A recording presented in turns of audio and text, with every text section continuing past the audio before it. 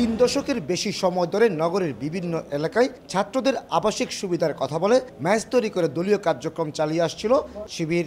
বিশেষ করে চাঁদগাঁও, চকবাজার, মুরাদপুর, দেওয়ানবাজার, চন্দনপুরা শিবিরের ঘাঁটি হিসেবেই পরিচিত ছিল।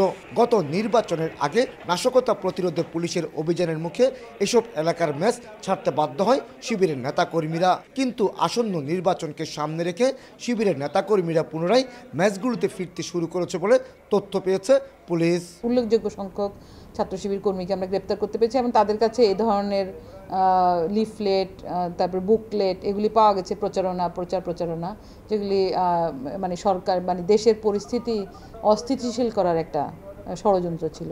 বিশিষ্টজনদের মতে, ম্যাচের আড়ালে চলে শিবিরের সাংগঠনিক শক্তি সঞ্চয় এবং কার্যক্রম। এমনকি চট্টগ্রামে হাতছাড়া হয়ে যাওয়া ম্যাচগুলো পুনরুদ্ধারের পাশাপাশি বহাদ্দারহাট, হালিশহর, কর্ণফুলীর মতো নতুন নতুন এলাকায় ম্যাচ তৈরি করছে বলে তথ্য বের হয়ে আসছে। তারা যে অপারেশনগুলি করে, মনে করো সে ঢাকার থেকে ঢাকা অপারেশন করবে, তারা যা আসবে রাজশাহী থেকে।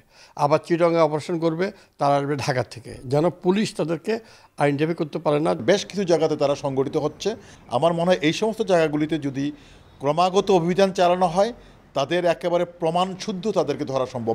সিএমপি কমিশনার জানান শিবির অধ্যুষিত ম্যাচগুলোতে নিয়মিত অভিযান চালাতে নগরীর ষোলো থানার অফিসার ইনচার্জদের নির্দেশনা দেওয়া হয়েছে। সিটিএসবি এবং গোয়েন্দা বিভাগের যে কর্মকাণ্ড সেটা আগের তুলনায় অনেক বাড়িয়েছি। আমরা তাদের পুরনো আস্তানা এবং নতুন আস্তানা যেখানে তারা সম্ভাব্য জায়গা, সেসব জায়গা আমাদের নিয়মিত তৎপরতা আছে। এদিকে ঊর্ধ্বতন কর্তৃপক্ষের নির্দেশনা পাওয়ার পর গত সপ্তাহে শিবিরের মোট সাতচল্লিশ জন নেতাকে গ্রেপ্তার করে থানা পুলিশ। কমল দে, সমসংবাদ, চট্টগ্রাম।